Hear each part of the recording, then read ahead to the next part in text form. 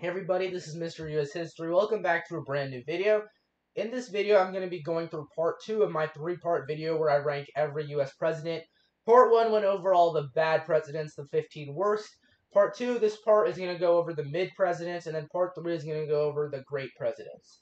So, in 24th place, we have John Quincy Adams. John Quincy Adams, just like his dad, as well as James Madison, his presidency was the least successful part of his life. The only real accomplishment he had as president was just infrastructure improvements, which basically every president has done. I mean, not every president, but most presidents, if they've had the opportunity to do so, they have done this. So this isn't really anything special for John Quincy Adams to do. And on the negative side, you had the tariff of abominations occur under his presidency, in which there were extremely high tariff rates that were placed on the south on the south. Well, not just the south, but the entire country. But they disproportionately affected the south, and this ultimately led to more sectional conflict and played a role in the nullification crisis, which Andrew Jackson eventually had to deal with. So, in total, I'd say the presidency was probably the least eventful part of John Quincy Adams' life. And I'd argue his presidency is actually the most uneventful presidency in American history. All that really happened was extremely high tariff rates that led to a crisis after his presidency and just infrastructure improvements. Just not, a, I, I can't even think of any like uh, long term positive impacts of his presidency. And there was a negative impact, which was the tariff of abominations. So, yeah. In 23rd place, we have Andrew Jackson. This one is interesting. So, I put Jackson one place above Adams. But keep in mind, his main legacy with regards to how he's been portrayed in the media and in historical books, at least recently, has been the Indian Removal Act and the Trail of Tears. He used to be viewed very highly by historians until recently with with stuff like race relations being brought more so into rankings of presidents of the United States. And the Indian Removal Act certainly led to this, which is many Native Americans were placed from their their home territories, their homelands, and they were displaced towards the Indian Territory in present day Oklahoma. Now, this law was clearly meant to steal land from Native Americans and then use that land for white settlers. And this land was ultimately later used uh, for plantations and slave owners. But keep in mind, in Andrew Jackson's defense, I will argue that Native American removal and the ethnic genocide of them had occurred ever since Christopher Columbus first ended up in the New World. And I believe this law was inevitable regardless if Jackson was president or not. And ultimately, I would argue actually, had Jackson not signed this law into bill, had he vetoed it, or had it not passed the House of Representatives, I believe white settlers would have eventually just gotten impatient and they would have done what they had done in New England, and they just would have slaughtered every single Native American there was, considering how they outnumbered them, and they just wanted the land. So, yeah, one could make a case that that would have ended up happening had this law never been passed. I'm by no means arguing that this was a good law. This was a very bad law in terms of how it treated Native Americans, but just look at what the alternative could have been. And he also instituted the spoil system, which gave um, which gave positions in the federal government to, to based more so off of political loyalty rather than merit.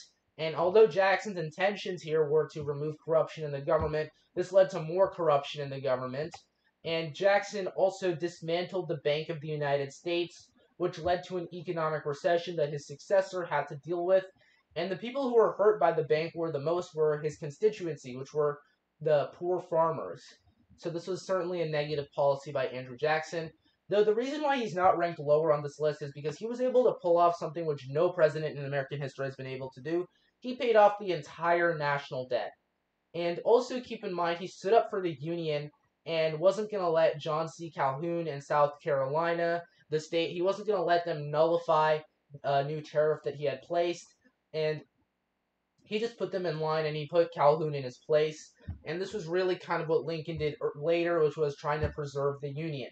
So I think those two accomplishments of Jackson certainly prevent him from being ranked lower on this list. So yeah. In 22nd place, I have John Adams. John Adams, again, like John Quincy Adams and James Madison, his pre-presidency was fantastic, but the presidency itself, not so much.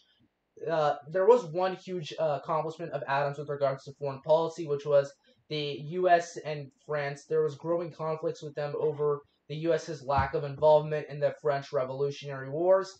And France was not happy with that, considering how they had helped America during our revolution against the British. But Adams did the right thing here, and he prevented the further escalation with France into a war. And he did the opposite of what James Madison did. James Madison, he basically just went along with what his party wanted. He went along with what the hardliners in his party wanted.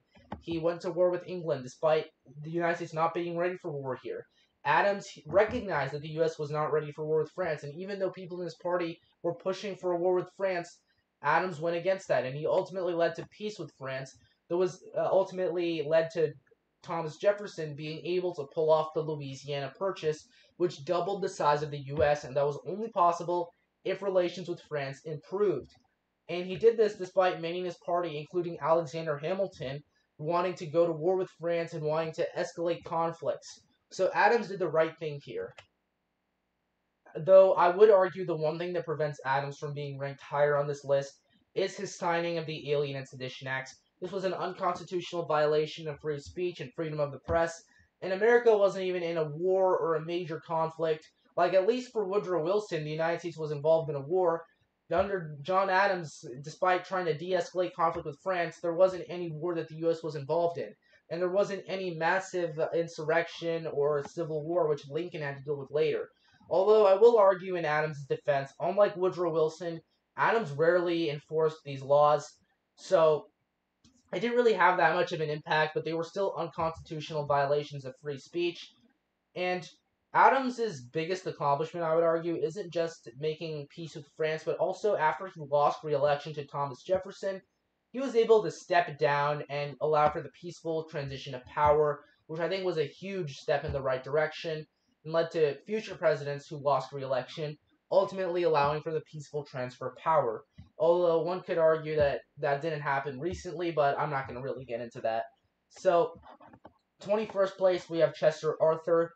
So, Chester Arthur played a huge role in civil service reform. He signed the Pendleton Civil Service Reform Act into law. And this basically removed corruption from the federal government significantly by getting rid of the spoil system and replacing it with a meritocracy. This was a huge, this is a really good bill that was signed by Chester Arthur, despite Arthur himself being a product of the spoil system. This was an act of political courage to go against the people who had actually enabled him, and Arthur actually went against the party line on tariffs and was willing to lower tariffs and did did it because he thought it would uh, help the American people rather than just sticking to the party line Republican issue at the time, which was raise tariffs. Though the one thing that prevents Arthur from being higher on this list is the Chinese Exclusion Act, which prevented Chinese uh, immigrants from entering the United States and being able to stay there. The initial ba- the initial ban was 20 years. Arthur got it removed. Arthur vetoed the 20 year bill and got it down to 10 years. So because of that, I do believe that Arthur didn't genuinely want Chinese Exclusion but I think he was ultimately forced to do so by Congress. But still, signing the Chinese Exclusion Act was not at all a good thing. So that's what prevents Arthur from being higher up on this list. And again, this was very popular among the American public, but still, it doesn't excuse the fact that he signed the law into the bill into law. And other than the Pendleton Civil Service Reform Act, which certainly, which got rid of a ton of corruption in the Fed. In 20th place, we have William McKinley. William McKinley led the economy to a recovery following the Panic of 1893, and he largely did this by raising tariff rates, which I'm not exactly a big fan of, but they did overall lead to economic growth, so I'm not really going to complain about that. Plus, his leadership during the Spanish American War was very good, and we ended up gaining more colonies. This wasn't a pointless war like the War of 1812 was we gained colon we gained colonies and we gained territories such as Puerto Rico and eh, parts of the Caribbean, and we even gained the Philippines for a short period of time. Although, speaking of the Philippines, this is where I'd argue this is what prevents him from being higher on the list, which was his policy in the Philippine American Wars, where th- it was pretty inhumane what they were doing in the Philippines.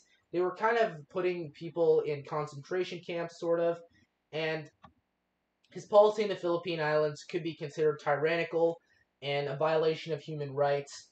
So I'd say that um, McKinley's legacy is sort of mixed when it comes to this.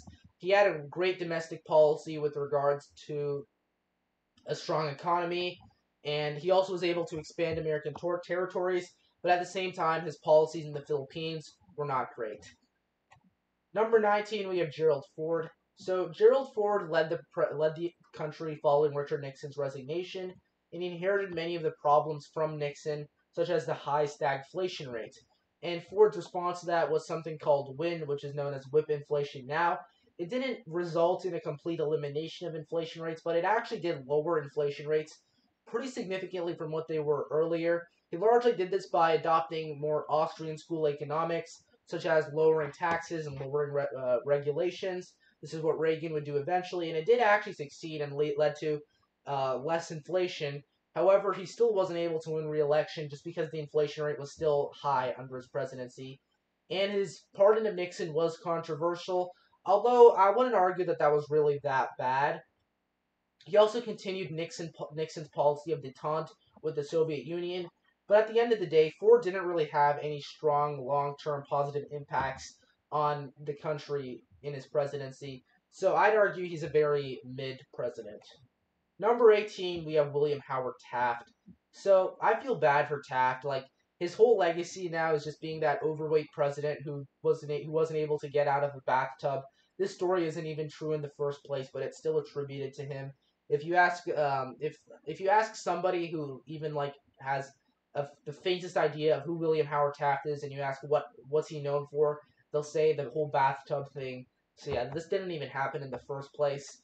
And also, his presidency ended earlier than it should have because Theodore Roosevelt prioritized his ego over the interests of the American public by running against Taft and launching a third party bid that was just completely unnecessary and led to the election of Woodrow Wilson as president. And his whole rationale for doing this was because Taft decided to be his own man.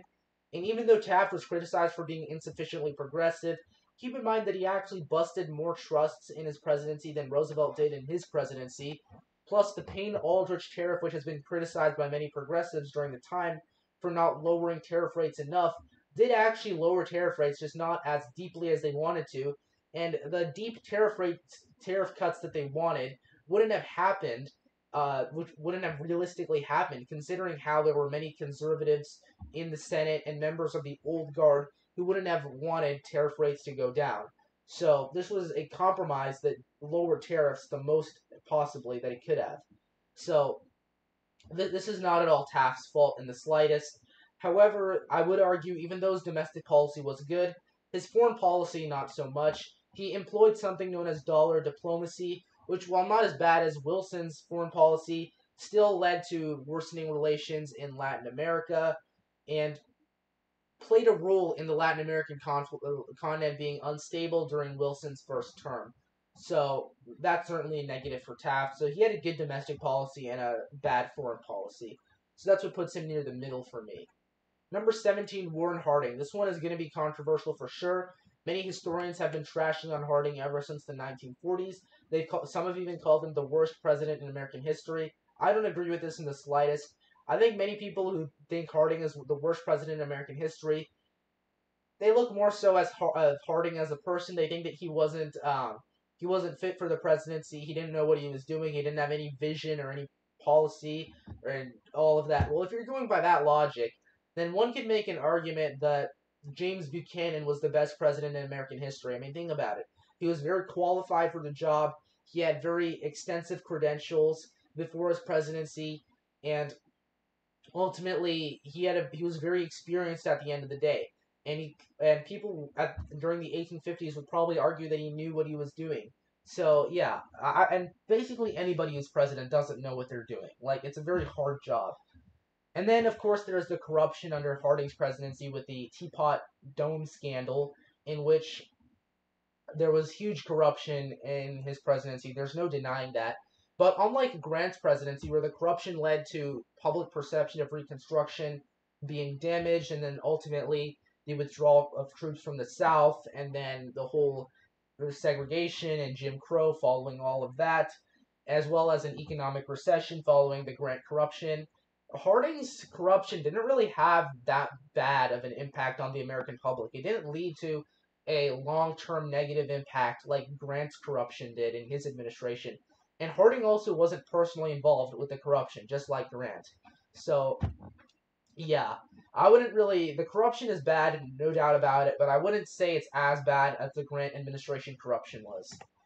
Also, keep in mind he signed the Emergency Quota Act, which I do think is probably the worst part of this presidency if we're looking at it like objectively. The Emergency Quota Act greatly reduced immigration and only allowed immigrants from Western Europe into the United States and placed immense quotas that I think were very harmful.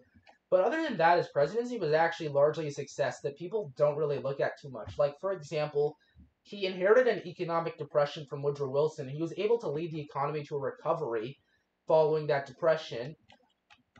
Plus, he also undid the Espionage and Sedition Act and he freed Eugene Debs from prison, despite Eugene Debs probably agreeing with Harding on absolutely nothing regarding the issues.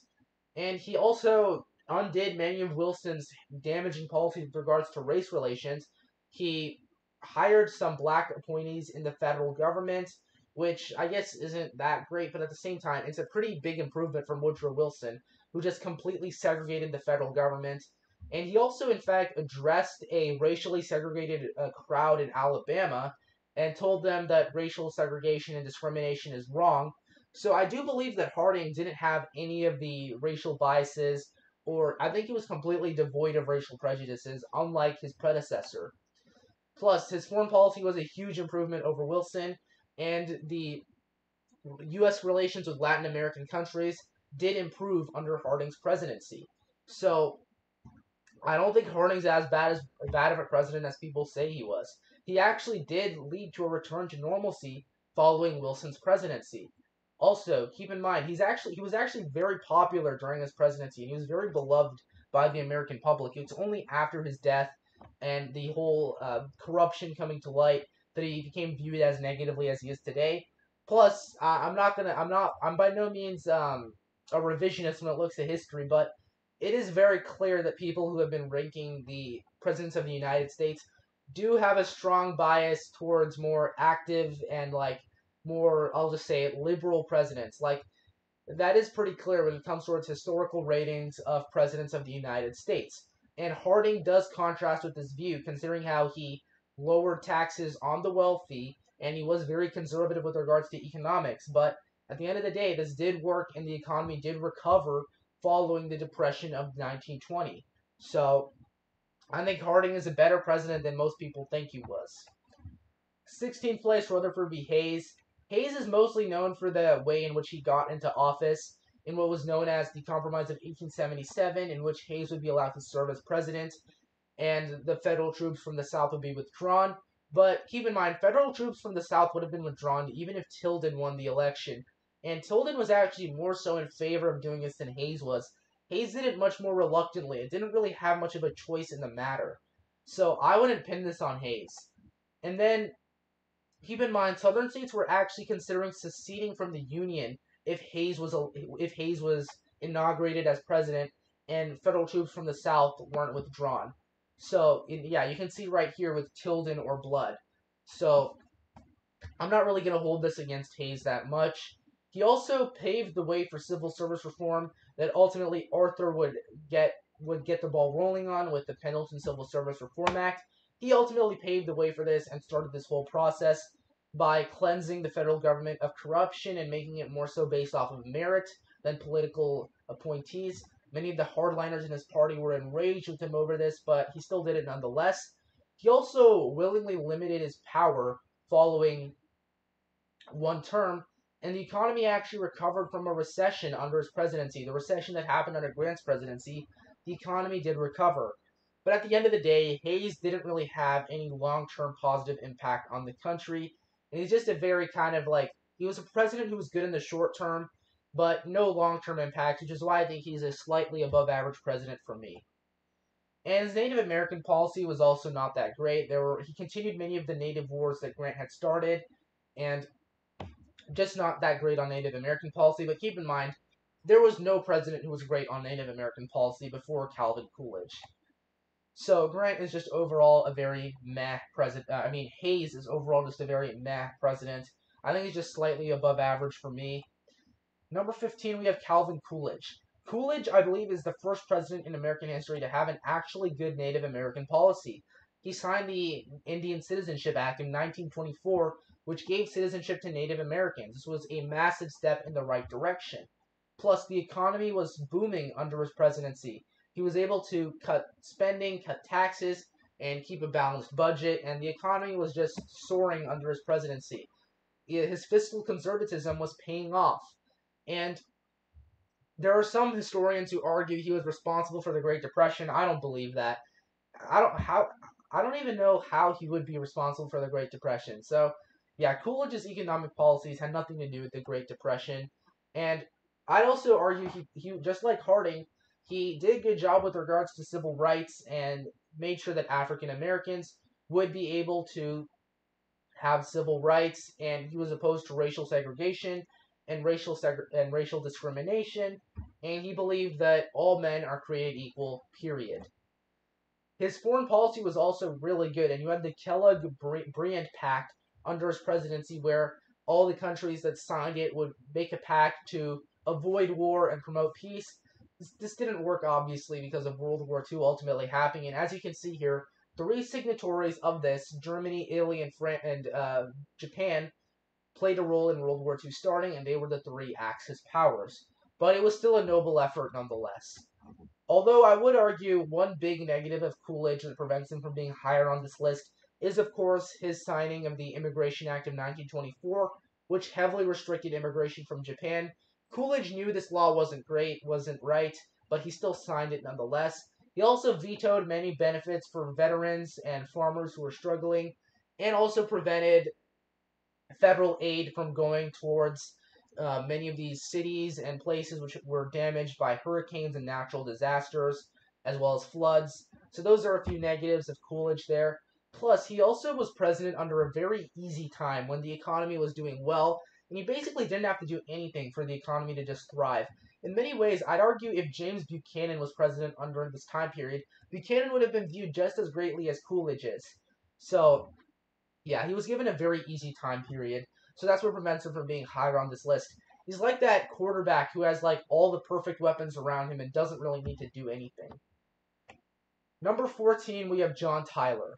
John Tyler is mostly remembered for the fact that he actually was served in the Confederate Congress following his presidency during the Civil War. And I think that's a key reason why historians have ranked him very low, as well as the fact that much of his domestic agenda was just him arguing with Henry Clay and the Whigs over a national bank, and he just was against all of the Whig policies.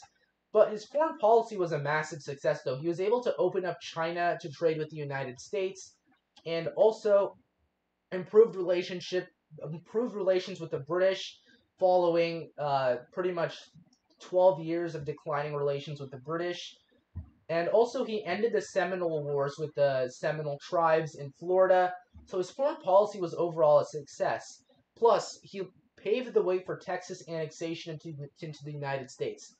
So as a whole, um, nothing happened with regards to domestic policy, but he had a good foreign policy. So yeah, I think John Tyler is an above average president. Number 13, we have James Monroe. James Monroe is, of course, remembered for the Monroe Doctrine, which was meant to prevent further colonization from European powers into the New World. This was a great policy by Monroe, and it had a huge long term impact on, on the world in a positive way. Plus, the annexation of Florida into the United States happened under his presidency. Although, on the negative side, there was a huge economic recession under his presidency. Not a huge one, but there was an economic recession in the 1820s. And this recession is actually ultimately what led Jackson to come to think that the Bank of the United States needed to be dismantled. And the Missouri Compromise also happened under his presidency, which was just an effort to kick the can down the road.